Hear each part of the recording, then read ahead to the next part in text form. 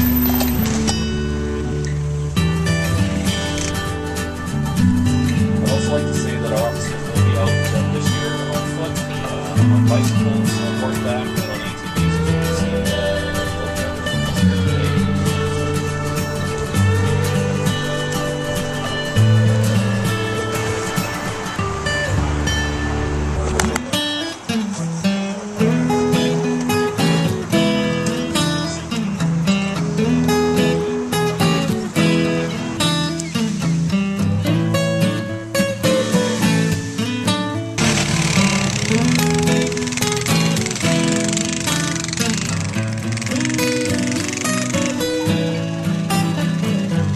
Thank you.